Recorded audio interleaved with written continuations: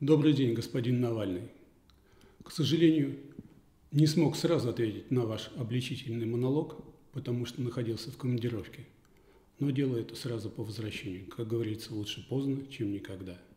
Я бы не стал с вами разговаривать, если вы были бы человеком с улицы. Но вы же человек с президентскими амбициями. Вы так раздуваете капюшон собственной значимости.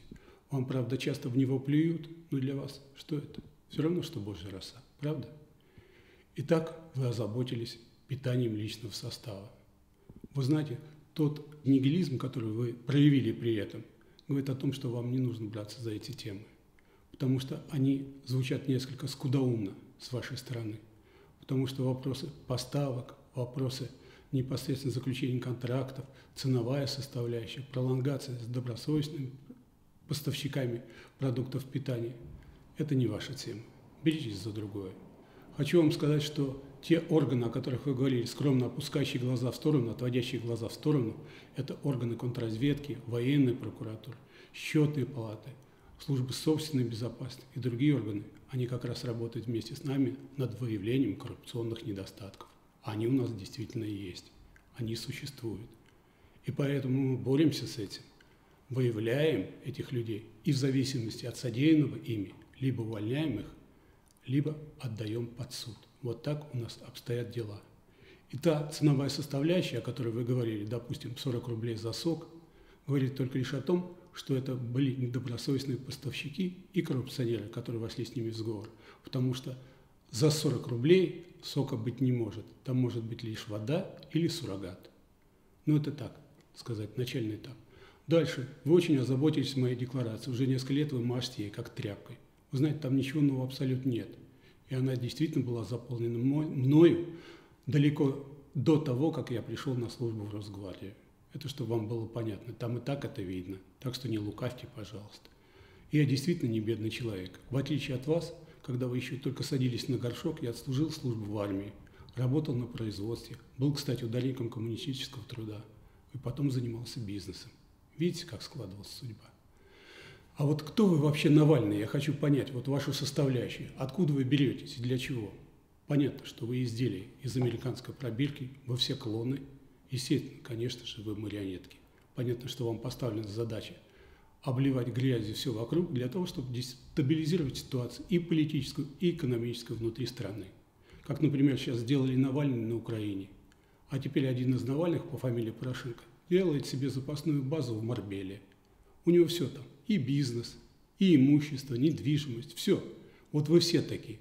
Посмотреть на вас, такой мотайтесь все по Прибалтике, там где-то встречаетесь, тайный союз мечей орала, обсуждайте между собой деление нашего государства на части и думаете, кому бы всучить ту или иную часть.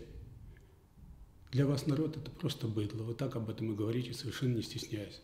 И что он достоин той участи, которая сейчас существует. Вы знаете, вы гнилые внутри, трухлявые.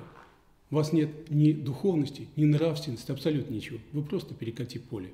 У вас нет ни страны, ни отечества.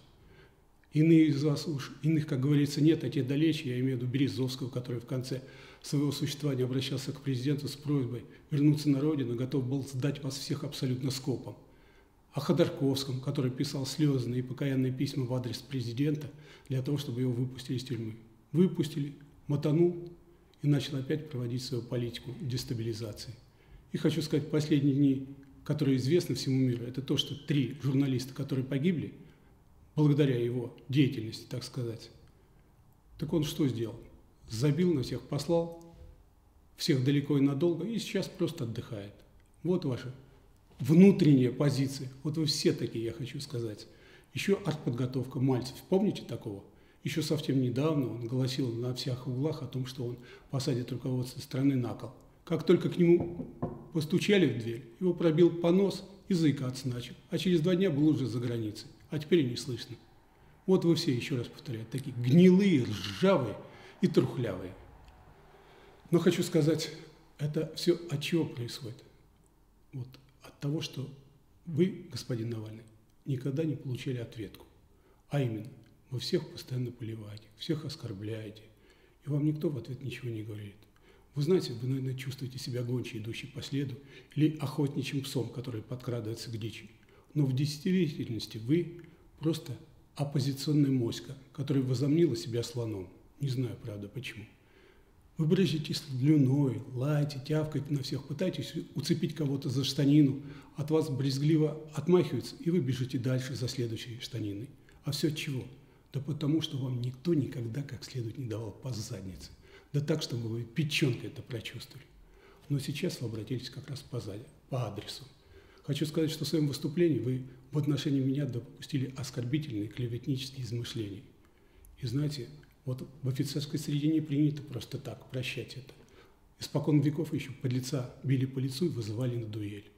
Господин Навальный, нам же никто не мешает вернуть хотя бы часть тех замечательных традиций.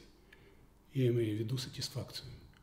Я просто вызываю вас на поединок, на ринг, на татами, куда угодно, где обещаю вас за несколько минут сделать из вас хорошую сочную отбивную. Господин Навальный, вы, пожалуйста, не расстраивайте меня – если вы начнете съезжать с этой сатисфакции, то к лейблу подлеца и труса, коим я вас и так считаю, прилипнет еще, знаете, с такой студенистой желеобразное пятно слизняка. И тогда уже с вами точно никто не захочет разговаривать. Ну и последнее, что я вам хотел сказать. Если, господин Навальный, вы в своих изобличениях еще раз позволите оскорбительный или клеветнический тон в адрес меня или членов моей семьи, то я вам обещаю, что прежде чем перешагнуть через вас и вытереть о вас ноги, я устрою шоу с показом для всего личного состава Росгвардии. И я вас уверяю, вам тогда стыдно будет выйти на улицу, а слово я держать умею. Так что не будете лихо, господин Навальный. Не затягивайте с сатисфакцией и до встречи. Всего доброго.